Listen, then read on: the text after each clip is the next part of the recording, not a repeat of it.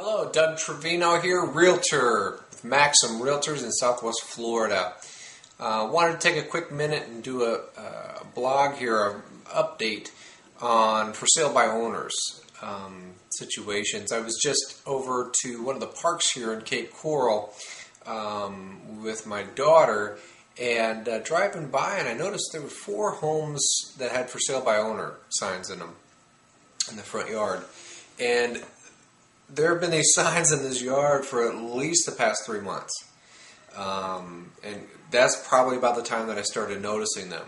Um, since then, they're still there. I don't know how, you know, before the I started noticing how long they were there.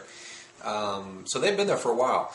Um, I stopped by one of the houses uh, just yesterday, and uh, took a second. I met the homeowner, and, and uh, he invited me in, and I explained what I do and uh, how I help people, and how, in many cases, I can be able to get uh, sellers more money for their for their house. I can net them more money than if they were to just be on their own.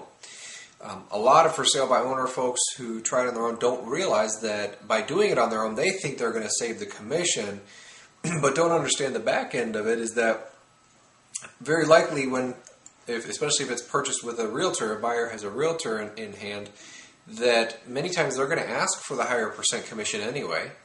Uh, number two, they know that the for sale by owner is trying to save money, and therefore they're going to try to come in a lot lower, thinking that, you know, had they gone through a realtor, they would have come down anyway. Um, so a lot of the offers come in a lot lower than what they're asking. Um, these are just the offer situations in terms of trying to save the money. The biggest problem that a lot of folks face is that they sit on the house for a long, long time because they only have a few marketing options available to them. Um, unless they're a, a, professional marketer, they have access to everything that realtors do and they can spend all of their time marketing. That's an advantage, but they still don't have access to the MLS. But that's definitely more advantageous than the typical for sale by owner um, seller who does not. And most of them rely on the most passive, passive marketing techniques available. Ads in the paper, ads in magazines, um, sign in the front yard, and open houses. Um, to me, it just seems it, it, seems like you're shooting yourself in the foot. You're trying to save a penny, but you're losing a dollar. Um, instead of going with a realtor, someone who's aggressive, who knows the market, and can get you a buyer much sooner than you would think, and be able to negotiate on your behalf to get you a higher dollar amount to net you more money.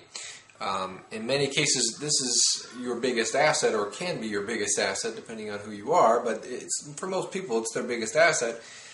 They're very much emotionally tied to that property and the price, and there's a lot of feelings in the house. And if somebody offers low, there's a lot of emotions involved. Where a realtor who acts on your behalf um, is devoid of that emotion and has one thing in mind to net his client or her client the most money possible. And they are trained negotiators. They're trained to be able to close a deal and you know make it work for their client's best interest. Um, you do. You get what you pay for. If you try to skimp, you're going to have a lot of trouble. And for you know many people when they're doing for sale by owners. Point is, I met with this one owner in particular. Um, I'm going to sit with him again at the end of the week when his wife is around. She's up in New York um, for this particular property, but we're going to list the property. Uh, I spent about 20 minutes with him discussing what's been happening, what he's been struggling with, um, what his successes were. You know, where where things gone right.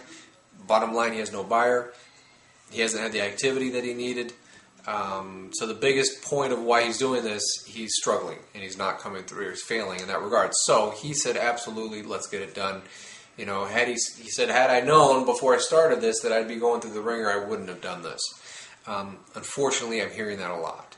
Um, fortunately, I'm there for those people, uh, and hopefully, they find other other people find other realtors in the end to help them out um, of their predicament. But for sale by owner, if you're contemplating this or you know someone who has had their house on the market themselves and is marketing, tell them to pick up the phone and call a realtor. Call me. Um, I'm always available. Um, if it's in Southwest Florida, Cape Coral, Fort Myers, Bonita Springs, Estero, even Naples, that's where I first started.